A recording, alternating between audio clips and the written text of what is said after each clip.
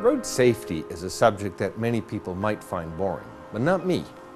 At Sanofi, we have 24,500 vehicles traveling around the world 17,000 times a year. The risk of one of these having an accident is pretty high. Over the past few years, though, we've made great progress in reducing the number of accidents and death. In fact, since 2009, we've had no mortalities on roads. But it's not enough. Last year we had 5,500 accidents. 100 of these were serious enough that people were out of work more than a day.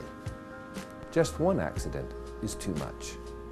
I recently heard of two of our representatives so severely injured last November, they're still out of work.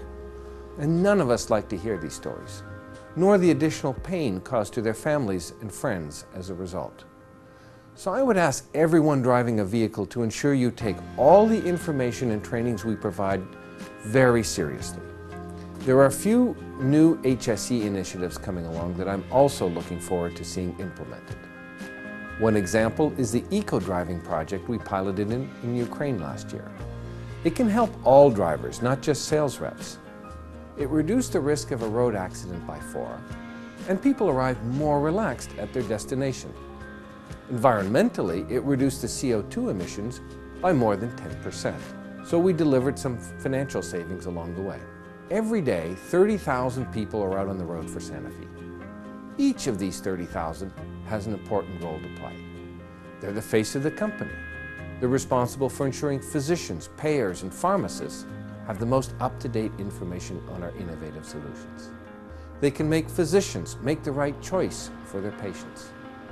But most importantly, these 30,000 reps are our colleagues and our friends.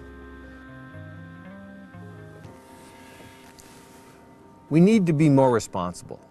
We need to take road safety even more seriously. It only takes a moment to lose concentration. Constant vigilance and training are important. They can help create the reflexes required to avoid accidents. They can mean the difference between life and death. So please, be sure you continue to put the good advice into practice and make Sanofi an even safer place to work.